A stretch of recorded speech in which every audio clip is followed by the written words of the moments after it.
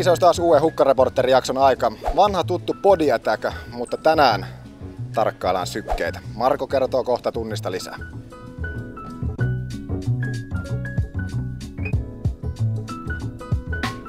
Teillekin Body Attack-tunti on tuttu. Miten tarkkaan te tarkkailette sykkeitä näin yleensä? Onko tuommoiset sykemittarit kuinka tuttuja? No tuota Polar Flow mä oon ainakin käyttänyt, että siitä näkee hyvin aina ne sykepiikit tuossa Attackissa, että kun se on niin intervallitunti, niin nyt on sitten ihan siisti nähdä, että tunnin aikana niin osaa vähän laskea sitä sen mukaan. Mulla ei yleensä ole sykemittaria ollut jumpissa, että nyt on vähän uusi juttu. Että... Mielenkiintoinen semmoinen uusi kokemus. Joo. No mitä luulet, että kuinka korkealle ne sykkeet tuolla nousee? En kyllä tiedä. Aikanaan. Jännityksellä katot. Nyt täytyy Marko sanoa, että tunti ei ole vielä edes alkanut ja Hepolalla on Onko tämä niin, niin sanottu leposyke? Näyttää tällä hetkellä 115. Hepolaa taitaa vähän jännittää podiatäkki, mutta se on ihan normaalia. Sykettä tänään mitataan vähän tarkemmin kuin yleensä. Kyllä. Eli näytetunti podiatäkistä sykkeellä ohjatusti ja screenillä näkyy sitten asiakkaiden sykkeet ja tullaan ohjaamaan sykettä. Eli podiatäkin on syketunti, meillä tulee kaksi sykehuippua. Me tullaan sitten kertomaan kutakuinkin, että millä alueella pitäisi olla ja mitä vaikutuksia sitten tällä syketreenaamisella on. Mitä tämä homma käytännössä menee? Eli käytännössä sulla täytyy olla polarivehkeet, ne toimii näissä. Ja sitten jos sulla on lähetin, niin niissä pitää olla Bluetooth-yhteys, H7, H10. Ja jos sulla ei ole omia vehkeitä, niin Respasta on mahdollisuus sitten lainata sykevyötä ja lähetintä ja sitä kautta kirjautua sitten systeemiin. Eli toivotaan, että kaikilla asiakkailla olisi PolarFlow-tili, niin se helpottaisi sitä hommaa sitten sillä Respassa. No mä oon nämä toimenpiteet nyt tehnyt. on mä, oon, tehnyt mä oon rekisteröitynyt tunnille, mutta tämä ei ole kovin vaikea eikä hirveä aikaa vievä systeemi, mutta ehkä kantee vähän tulla aikaisemmin. Ainakin ensimmäisellä. No varsinkin ensimmäisellä kerroilla niin saadaan sitten varmasti kaikki niin kuin hyvissä ajoin kirjautumaan sinne järjestelmään ja vältetään sitten niitä ruuhkia, mutta sitten kun asiakkaat oppii tähän systeemiin, niin kyllä se sitten pelittää varsin sutjakkaasti. Tuntina nyt tämä attack, se on ihan lähestulkoon sama mitä normistikin Les Millsin tunti. Kuvita vähän nyt sitä, että mitä siis tuolla nyt screenillä näkyy? Screenillä tulee näkymään jokaisen henkilökohtaisen, henkilökohtainen ää, prosenttiosuus, eli tämä hetkinen syke osuutena maksimisykkeestä. Ja silloin saadaan prosenttilukema, joka on 50 kutakuinkin sinne 100 prosenttiin.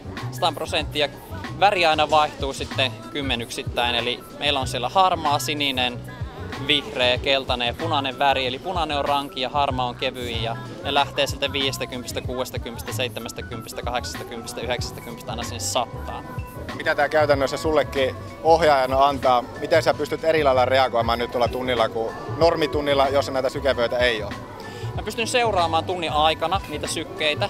Eli tarkoituksena Poriatakissahan olisi intervallitreeni, eli kaksi kertaa oltaisiin menossa sykehuippuun ja sitten välillä palautellaan ja lähdetään sitten toisenkin kerran sinne sykehuippuun. Mä pystyn katsomaan siellä, että onko siellä joku ihan hirveän väsynyt. Onko se punaisella alueella, onko se lähellä 100 prosenttia, ellei jopa yli. Miksi sä katsot mua? Niin, no sä tulet varmaan todennäköisesti olemaan siellä punaisella. Voi olla, mutta hei, tämähän on loistava juttu, vähän jotakin erilaista. Joo, ja sitten jos se tuntuu, että se syke nousee ihan hirveästi, silloin kannattaa käyttää niitä vaihtoehtoja, saa sitä sykettä alemmas. Silloin se on ehkä helpompaa, mutta sitten sä voit myös järkevämmin treenata. Eli sanotaan nyt esimerkiksi, että joku olisi raskaana ja haluaisi pitää sykkeet matalalla. Hän voi koko tunnin ajan seurata omia sykkeitään ja katsoa, että ne ei pääse nousemaan tietyn rajan yli. Onko Joonas raskaana, tai ole nyt raskaana? En, en ole raskaana, vaikka saat, voi ehkä, voi ehkä siltä näyttää. Mutta kuinka tarkkaan Marko mun kandee nyt sitten tuossa tunnilla seurata niitä, niitä lukemia, mitä sillä taululla on? Ihan miten sä haluat. Sun ei pakko seurata niitä lukemia ollenkaan. Tai sit sä voit vahata niitä silmäkovana, kummin vaan. Mutta periaatteessa sulla on mahdollisuus katsoa tunnin aikana niitä. Tunnin jälkeen saat sitten lyhyen kuvailman omaan boksiin, että millä sykealueella oot ollut ja kuinka kauan. Paljon oot polttanut kilokaloreita ja Polar, Flow-systeemistä pitäisi sitten nähdä ihan se käppyrä. Eli ajassa nähdään, että miten sun syke on elänyt tunnin aikana. No niin, nyt on tunti takana. Miksi tosi paljon katsottua tuota taulua koko ajan, että mitä se oma syke oli? No varsinkin silloin, kun nuo sanoo aina, että menkää jonnekin vihreälle tai harmaalle alueelle. Ja siellä minä punaisella oli, että piti vähän yrittää katsoa, että laskisi vähän alemmas. Kuinka paljon sen lisäksi, että katsoit omaa, niin katsoit kaveri? Kyllä me vähän katsottiin, kun tavoitteena oli olla syke kaksoset. No, ensimmäinen kerta nyt tätä takana. Mennättekö tulla syketunnille uudestaan? Kyllä aion tulla, oli tosi mukava. Todellakin, ehdottomasti. Tämä tunti versus sitten normaali body attack, missä sitä sykettä ei näe, niin mitä sulle antaa? No, tämä oli tosi paljon jännempi, kun koko ajan pystyi itse seuraamaan justiinsa niitä lukemia sieltä taululta, mutta yritti olla kuitenkin, että ei ihan koko aika tuijottelisi sitä, mutta niin, niin oli ihan jännä. Veikkaa, että näin ensimmäisellä kerralla sitä vielä enemmän, että ehkä toisella kerralla ei kato enää niin paljon. Niin, niinpä, että ehkä tämmöinen kokeilukerta oli kaikille nyt, että, mutta tosi, tosi kiva, jos tulee uudestaan näitä tunteja, ehdottomasti pitää tulla. Käydään Marko sun kanssa vähän näitä nyt tuloksia läpi. Joo. Ää, tunti takana 8500 kaloria poltti koko ryhmä. Kilokaloria. Kilokaloria, joo, kilokaloria koko ryhmä ja 10 tonnia haettiin. Ei ihan siihen päästy, mutta miltä näin niin kuin isossa kuvassa näytti nyt tämä ensimmäinen näytetunti? Hyvältä se näytti ja ihmiset kyllä niin kuin liikkuu ja tuntui, että ne seurasi ihan hyvin, että kaikki katset oli screeneille. Eikä se on nyt semmoinen, että täytyy ohjaa opetella, että kaikki ei kato koko aikaa ohjaa. Ja... Mutta hyvän näköistä meininkiä oli ilman muuta. No katsotaan vähän näitä mun tuloksia. Joo. Mm, 665 kilokaloria. Teikäläinen poltti sen verran siitä kahdeksasta ja puolesta tuhannesta kilokalorista. Sitten tuossa näkyy samalla sun keskisyke, eli 83 prosenttia. Sä oot ollut niin kuin keskimäärin sillä sykealueella, eli keltaisella sykealueella.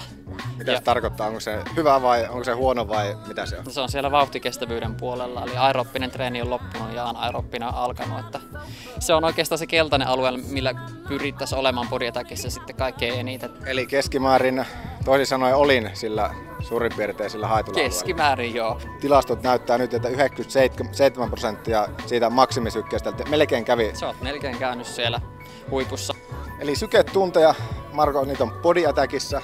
body combatissa ja sitten pyöräilyssä. Eli Maija ja Anu alkaa ohjaamaan body attackia sykkeellä ja meikäläinen sitten body combattia ja sitten pyöräilyssä oli useampi eri ohjaaja. Ei varmaan tarvitse tähän loppuun muuta kuin sanoa, että kaikki testaamaan. Tämä oli mielenkiintoinen juttu. Ehdottomasti. Ensi kerralla jotakin aivan muuta samoin. Got to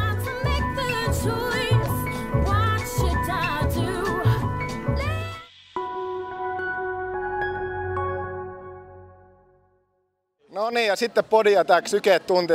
Onko tulossa tunnille? En ole tulossa. Poistutko sitten kuvasta?